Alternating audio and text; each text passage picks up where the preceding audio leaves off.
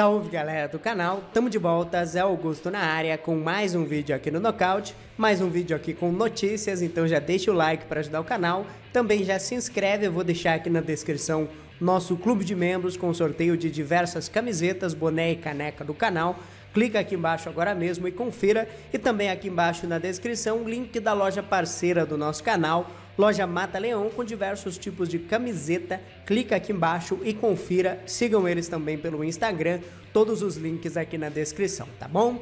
Bem, vamos com as notícias. Quero começar o vídeo de hoje falando um pouco desta luta entre o Francis Ngannou e também o Cyril Gane. Os dois vão lutar agora em janeiro, no dia 22, no UFC 270. O Francis Ngannou, ele acabou comentando um pouco da luta contra o Gane, mas aproveitou também para falar sobre o John Jones e comparando os dois adversários, o Cyril Gane e também o John Jones, ele acabou revelando que a luta contra o Cyril Gane, ela não é maior do que uma luta com o John Jones. Olha só o que, que ele comentou, abre aspas. É uma boa luta contra o Gané. Você precisa estar atento ao perigo de qualquer luta. É um bom adversário, mas ele não está no nível de um embate contra o John Jones, por exemplo.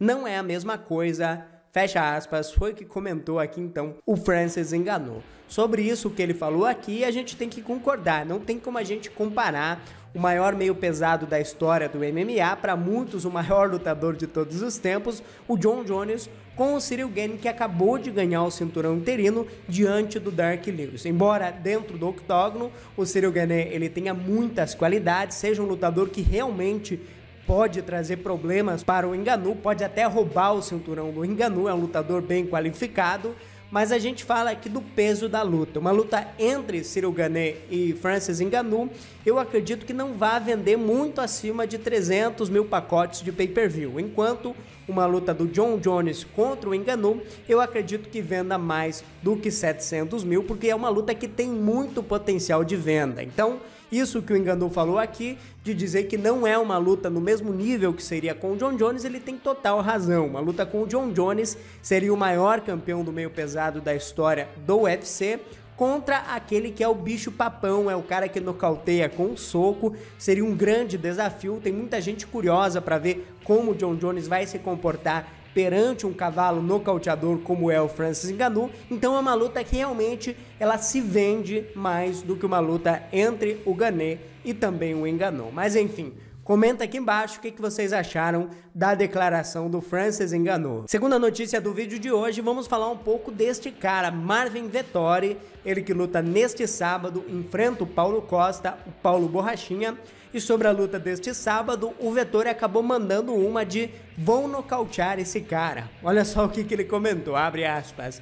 Sinto que estamos bem quietos e chegando perto da luta. Vamos ver como será na semana da luta. Não necessariamente eu gosto desse cara. Não é alguém com quem eu seria um grande amigo. Ele falou muita merda antes. Não conheço pessoalmente e não faço questão. Então, para mim, não é pessoal. Dito isso, não preciso gostar das pessoas para deixar alguém inconsciente no octógono. Não preciso de nada pessoal para lidar com problemas dentro do cage. Ele é um bom lutador, tem boas ferramentas na luta em pé, tem uma mão pesada e poder de nocaute. Mas sinto que no geral sou um lutador mais completo de MMA. Até na trocação eu sou superior.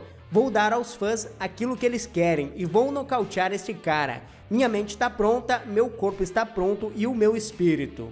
Bem, tá aí as palavras do Marvin Vettori que prometeu nocautear o Borrachinha. Eu acho que, na minha opinião, a chance dele nocautear não é na trocação. O Vettori nunca foi um cara de mão pesada, nunca foi um cara de volume de golpes. O jogo dele é o grappling, é tentar derrubar, tentar amassar o borrachinha no chão e quem sabe no ground and pound, batendo pesado ali por cima, pode conseguir um TKO, pode acabar conseguindo finalizar a luta, mas na trocação em pé, eu acho que ele não vai ter muita chance de conseguir abalar o Borrachinha. O Borrachinha aguentou a mão do Romero, que é um dos lutadores que pega muito pesado nessa categoria. Venceu também Uriah Hall, que é um striker bem qualificado. E na última luta dele contra o Adesanya, acabou nocauteado. Mas o Adesanya é o Adesanya, um dos maiores strikers do MMA na atualidade. Então, assim, é uma luta onde, em pé, o Borrachinha vai levar assim a vantagem. O Borrachinha tem mais volume de golpes, pressiona muito e tem a mão pesada, enquanto o Vettori não tem muito volume de golpes, não tem a mão muito pesada e é um cara que, na minha opinião, tem que quedar o Borrachinha para vencer essa luta. Querer trocar pancada com o Borrachinha, acho que vai dar ruim para o Vettori e as chances dele ser nocauteado, na minha opinião, são grandes. Ele nunca foi nocauteado na carreira, mas contra o Borrachinha pode acabar sendo nocauteado pela primeira vez. É um lutador que se abre, que tem buracos no jogo e o Borrachinha pode explorar. Mas enfim, Deixe a opinião de vocês aqui embaixo sobre o vídeo de hoje, sobre as notícias. Não esquece de deixar um gostei aqui embaixo, ajuda muito o nosso canal. Também conheça a loja parceira aqui do nosso canal, loja que está nos ajudando, loja Mata Leão, link aqui na descrição, tá bom? Segue eles pelo Instagram, aqui embaixo também o nosso clube de membros. Clique aqui embaixo agora mesmo e conheça o clube de membros. Eu volto amanhã com mais um vídeo. Grande abraço, até lá, tchau, tchau e fui.